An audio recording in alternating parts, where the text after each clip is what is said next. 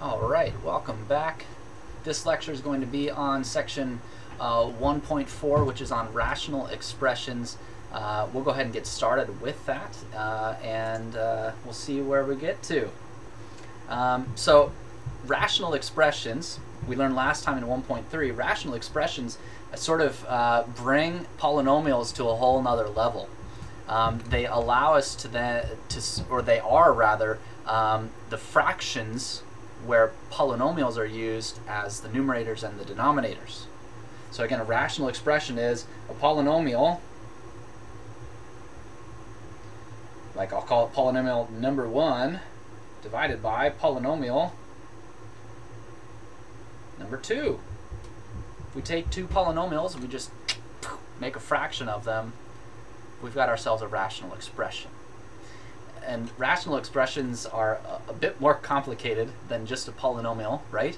Um, but uh, there's certain things that we can we can you know use them for, and so they're they're really they're really handy. I used uh, just last summer. I used rational expressions to help me when I was building a fence.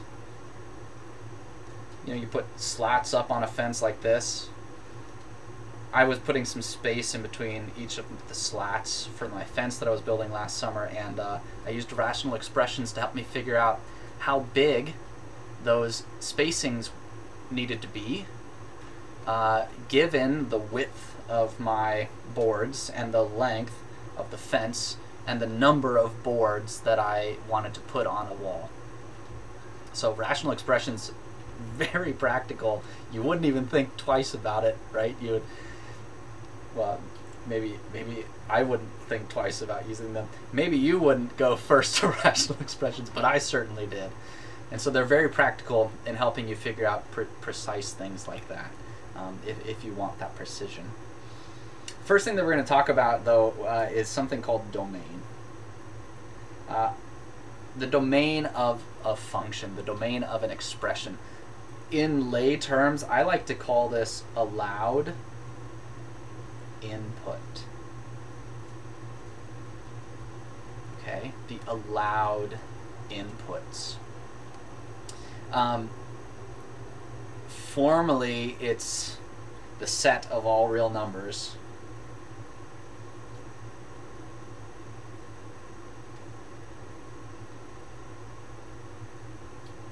So every real numbers, every real number rather, that a variable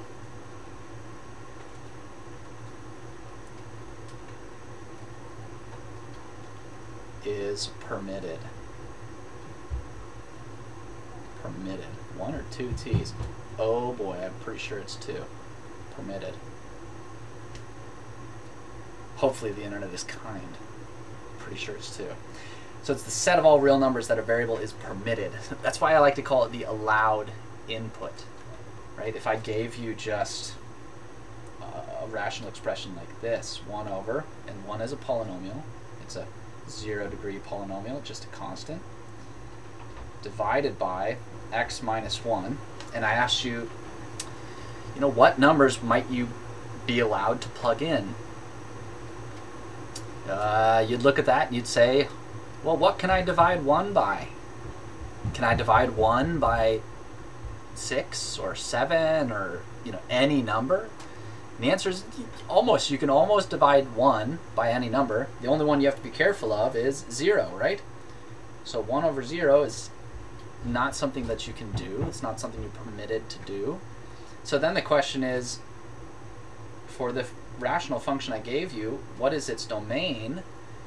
Well, it's the set of all real numbers that don't give you division by 0 in this case. So it's every real number without 1. So we can write that down like this, r minus the set of 1. We can write that down in interval notation. It's negative infinity to 1 together with 1 to infinity. We could write it down in set builder notation, all x's, such that x is not equal to 1. right? There's several ways we can write this. But the, the point here we're making is what are the numbers that we can plug in? What is the domain for this rational expression? It's every real number except 1. Because 1 is not permitted because it causes division by 0. Okay. There's there's other things that you might run into, something like this.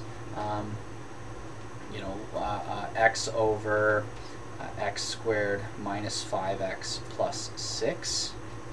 You know, this is a, a little bit of a harder one when you're trying to find the domain of this, because answering the question of where does this equal 0 is a little bit harder.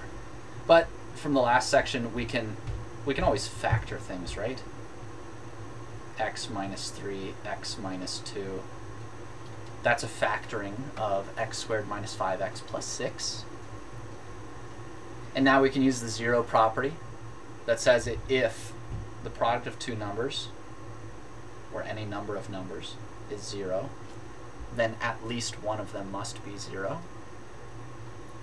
So this gives us the result that either x is 3, x is 2, or both. Which I get is technically impossible. It can't be both, right? But there's the possibility that it could be either because we don't know what x is. So we see in this problem that the domain is every real number without 2 and 3. We can't plug those in because if we do, the denominator is 0. Okay, we could write that separately or differently. All real numbers x such that x does not equal 2 or 3. We could write it in interval notation. Uh, negative infinity to 2 together with 2 to 3 together with 3 to infinity. So these are this is the domain of this rational expression.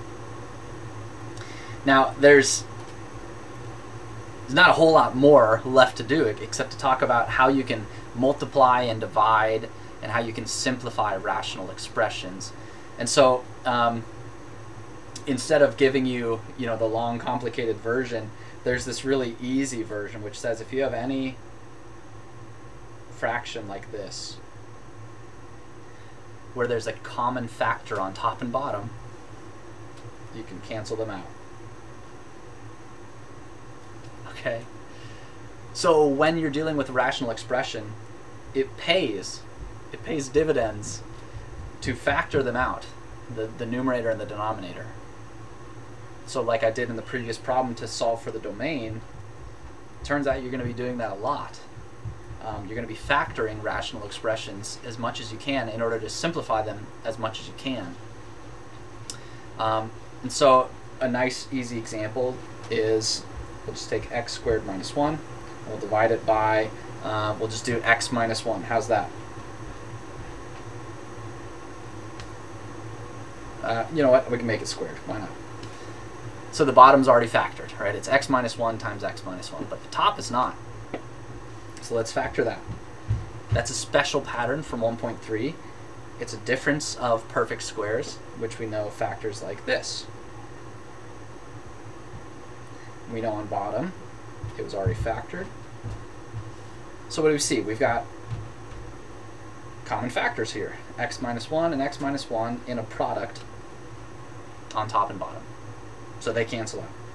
So this rational expression simplifies to just x plus 1 over x minus 1.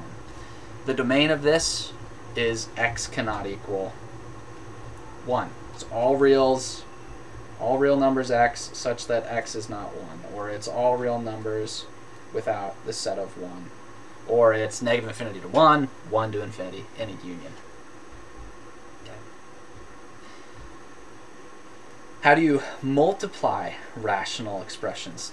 It's no different than fractional multiplication, right? a over b times c over d. It's just you multiply the tops, you multiply the bottoms, and you've got a new fraction of the products. Right? It's no different from fraction multiplication because a rational expression is just a fraction of numbers. We just don't know what those numbers are, so we use variables to represent them. x minus 1 over x plus 1 times x squared plus 1 over x cubed plus 2. This is just two fractions of numbers multiplied together. We don't know what they are because we don't know what x is. But the result is just x minus 1 times x squared plus 1 over x plus 1 over x cubed plus 2. Done. Okay? To multiply rational expressions, it's no different than multiplying fractions. You just, you know, you just multiply across the top and bottom, and that's that's the that's the whole story. It's the same thing with fractional, uh, sorry, with with division of rational expressions as well. We have one fraction divided by another, you remember what I said from section 1.1, I think, 1.1. Nobody divides fractions. Everybody multiplies. And this, the, the pattern was flip and multiply. So we take the second fraction, we take its reciprocal, we flip it over, and we multiply. Okay, this is true. A over B divided by C over D is in fact A over B times D over C. We know from the previous rule that this is just A times D over B times C. Right? No matter what these things are, they can be they can be polynomials that we've multiplied together. They can be uh, numbers that we've multiplied together. It doesn't matter what they are. Um, this pattern holds. So I'm not going to do much of an example there, um, except just maybe to, to just do one little thing. x over x plus 1 divided by, okay, divided by, uh, let's do 2x minus 1 over x plus 1. We flip the second one and multiply times x plus 1 over 2x minus 1. So we get this, but before we do that, I want to I want to just say we've got common factors on top and bottom, so I'm not even gonna not even gonna cancel them out to begin with because we're still learning this. I just wanted to point that out. You could cancel them out at that point if you wanted. You could cancel them out at this point if you wanted. But the point is, we flipped and multiplied, and we've got our final result. And maybe some simplification needs to happen, but that's that's what you're doing in, in fraction division, right? Okay. And now, the hard one is adding and subtracting. so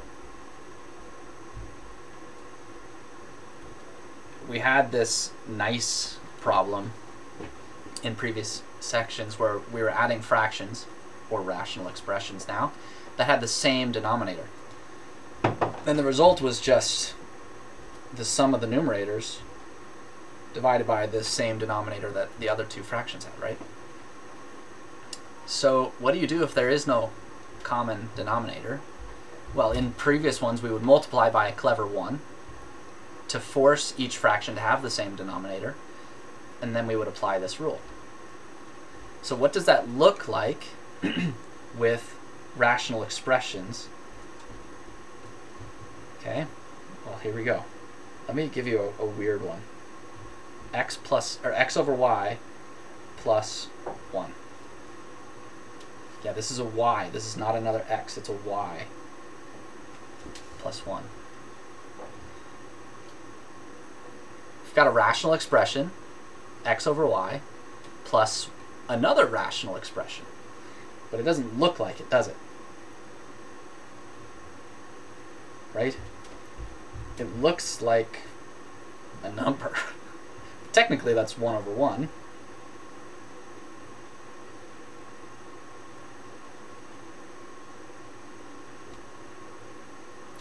But they don't have the same denominator. So how do we force it to have the same denominator? We need to introduce it. And we need this to be a y so that we can add across the numerators. So we, just like before, multiply by a clever 1. In this case, it's y divided by y. It's the factors in the left fraction that do not exist in this fraction's denominator multiplied on top and bottom. So this gives us now this expression, x over y plus y over y. Now we can apply the rule. We, we add across the numerators, we divide by the common denominator. So x over y plus 1 is x plus y over y. This is a way to turn, uh, you know, a sum of rational expressions that don't have the same denominator uh, into just a fraction, which you can, you know, invert and multiply or do other things with. Okay. This can look a little bit, a little bit stranger, right? Um, we could have harder denominators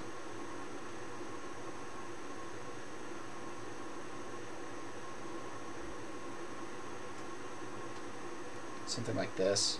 But the basic idea remains the same. You look at each of the denominators and you look for the least common multiple. You look for the, the, the, the expression that has all of the factors of both denominators. So we see two factors here, x plus 1 and x minus 1. So I'm going to create a list. Okay, so that's the factors of the first denominator. Now I'm going to go to the next fraction denominator, and I'm going to create a list of its. I'm going to add to this list that I've got, I'm going to add to it factors that appear in the second fraction, but not in the first. And there are none, right? We see that this already exists right there. So this is the least common denominator that we're going for. We make a list of all the factors, only the number of times they appear, right? Uh, we make a list of them, and that is the least common denominator.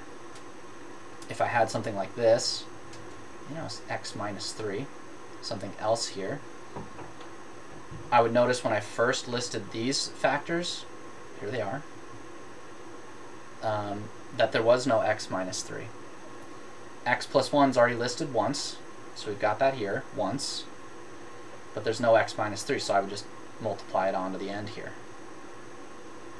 And actually I'll continue with this because this is this is good. So this is our least common denominator now. So how do we force um, both fractions to have the same denominator as we multiply them both by 1. But that 1 is going to be the fraction of the missing the missing uh, factors in the least common denominator. So on the left-hand fraction, what factor are we, are we missing? We're missing x minus 3. So I'm going to multiply by x minus 3 over x minus 3. In the right-hand denominator, which factor are we missing? We're missing x minus 1. So I'm going to multiply by x minus 1 over x minus 1. Okay? And now if you look at the denominators, both of them are this same thing. Okay? Which means when we go to add these two guys together, we can just add across the numerators. X times x minus 3 plus y times x minus 1 and then divide by the common denominator x plus 1 x minus 1, x minus 3. And that's it. There might be some simplification to take care of here, but, but that's it. Okay, the next and last thing that I'm, I think I'm going to talk about here for this section is rationalizing denominators or numerators. So um, I'll just go with an example here. So here we've got a rational expression, um, rational num, uh, sorry, a uh, it's not a rational number, uh, and it, it's not a rational expression. It's a number that has a root in the denominator, an irrational number in the denominator. Um, I want to teach you how to turn that denominator into a, a rational number when um, when there's a sum there. We've done this before when there was no sum, right? And it usually involved multiplying by almost exactly, depending on the situation. Uh, it multiply it involved multiplication by a clever one that sort of completed the root.